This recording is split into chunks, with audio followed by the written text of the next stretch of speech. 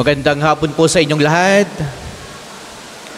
Maulang maulan at bagyo, no? Kahapon, ano, birthday ni Padre Pio. Magandang magandang panahon, ngay pinagbigyan. No, ngayon naman tayo ay inuulan. Pero ganun pa man, palakpakan, purihin ang ating Panginoong Diyos, mga minamahal na mga kapatid. Ngayon ay dakilang kapiyastahan ng Holy Trinity, ano, solemnity, no? In, ang banal na santatlo, ito ang puso, ang core ng ating pananampalatayang katoliko. Yan ang ating identity sa ngalan ng Ama, ng Anak at ng Espiritu Santo.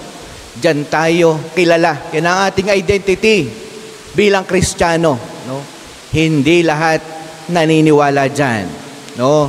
Pero tayo, yan ang ating identity Tayo'y bininyagan sa ngalan ng Ama, ng Anak at ng Espiritu Santo. Diyan tayo bininyagan, no? At diyan tayo nabubuhay, no? Diyan tayo nabubuhay. Kita ninyo sa mga pagbasa kung papaano ang banal na santatlo gumabay sa tao. At sabi ni Jesus sa huling sandali ng mabuting balita, huling bahagi, ako'y kasama ninyong lagi hanggang sa katapusan ng sanlibutan. Sa unang pagbasa, no, sabi ni Moises sa mga tao, tingnan ninyo ang Diyos. Kayo'y pinatnubayan, no? Kayo'y inalis sa pagiging alipin mula sa pag-aalipin sa mga Ehipsyo Kayo'y bayang pinili, hinirang, inalis. Pero habang kayo inalis at kayo dadalhin sa lupang pangako, kita ninyo ang Diyos, paano kayo mahalin?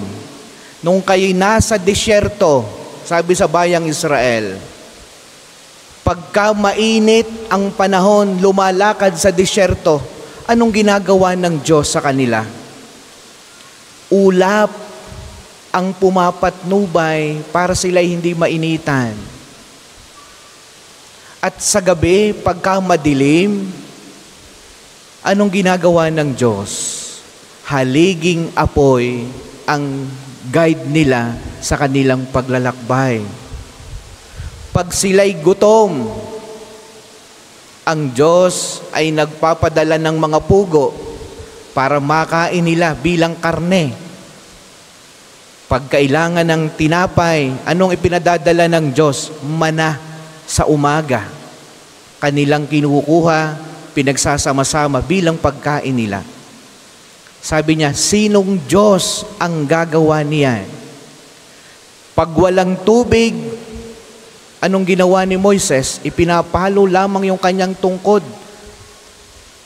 Kayong masaganang tubig ang dumadaloy. Nung sila'y hindi makaliban sa dagat, anong ginawa? Yung kanyang tungkod, dahil sa Diyos, sa kapangyarihan ng Diyos, nahati ang dagat. Sinong Diyos ang makagagawa niyan? Sabi ni Moises. Pero ang tanong niya, dahil sa pag-ibig na ito at pag-aalaga sa inyo ng Diyos, anong inyong tugon? Sa pagmamahal na ito ng Diyos sa iyo. Kahit sa buhay natin, no, napakadami nating nilampasan ng mga pagsubok, mga karamdaman, mga paghihirap, ang dami nating nalampasan. Yan lahat ng iyan ay pag-ibig ng Diyos sa atin. Pag-ibig ng Ama sa atin. Ang tanong, tayo ba'y faithful pa din sa Panginoon? Sapagkat ang bayang Israel, ano, hanggang sa kasalukuyang panahon, kita natin ang kanilang katigasan ng ulo. No? Pero ang Diyos, pag nagmahal, di nababago. Dahil sa Diyos, hindi pwedeng mabago kaya pag tayo inibig ng Diyos, yun na. Hanggang sa kahuli-hulihang sandali. Kaya tayo mga mahal ng Diyos. Ang tanong lamang, anong iyong tugon lagi? Anong iyong respond? Anong iyong balik sa Diyos? Bagamat hindi niya kailangan, hindi makakadagdag ng kadakilaan ng Diyos ang pagmamahal mo sa Kanya. No? Pero, yan ay para din sa atin. No? Kaya nawa, ang hiling ni Moses sa unang pagbasa na ating napakinggan sa kanyang mga kababayan, maging tapat kayong lagi. Sundin ninyong lagi ang tuntunin na ipinag-uutos ng Diyos. Yun lang hinihiling ng Diyos. Maging tayo sa Kanya. Sabi niya, ang Diyos ay mapanibughuin. Anong ibig sabihin nun? Sapagkat nung pagbaba ni, Mos, ni Moises mula sa bundok ng Sinai, nakita niya na ang mga lahat ng kanilang mga ginto, mga tanso, sinunog, tinunaw at ginawang gintong baka at yun ang kanilang sinamba. Nagdiklap sa galit ang Diyos. Gusto silang pugnawin lahat. Pero salamat pa rin merong namamagitan si Moises. Huwag po.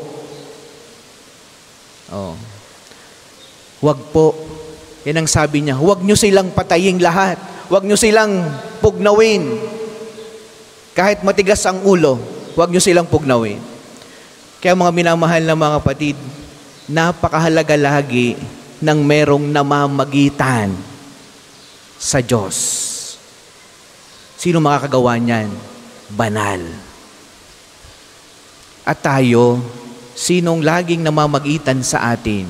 Sa Diyos. Padre Pio. No? Siya ang namamagitan sa atin. Sapagkat tayo'y hindi banal, tayo mga makasalanan. Ang pinakikinggan ng Diyos ay panalangin ng isang pure at banal na banal. No? Kaya nawa, no, sa kapiyastahan ito ng banal na Santatlo. No? Tayo mga taong mahihin at marurupok, kaya lagi tayong lumalapit sa mga banal. Sila ang namamagitan sa atin. No?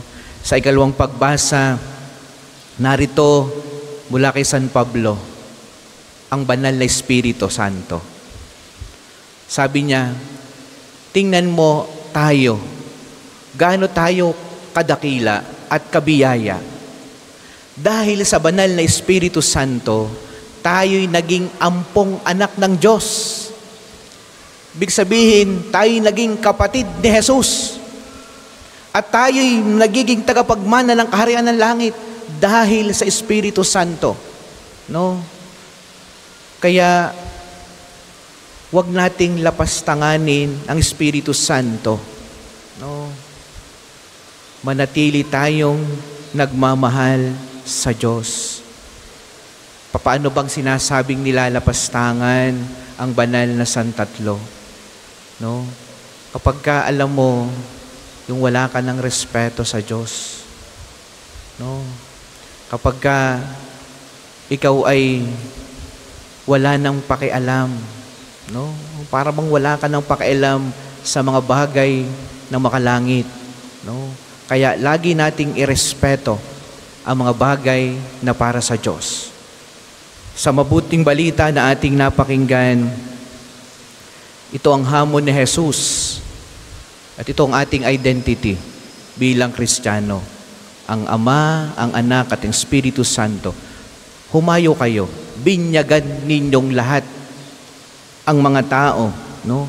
Sa ngalan ng Ama, ng Anak at ng Espiritu Santo yan ang ating identity. Pag tayo lalabas ng ating bahay, ng ating tahanan,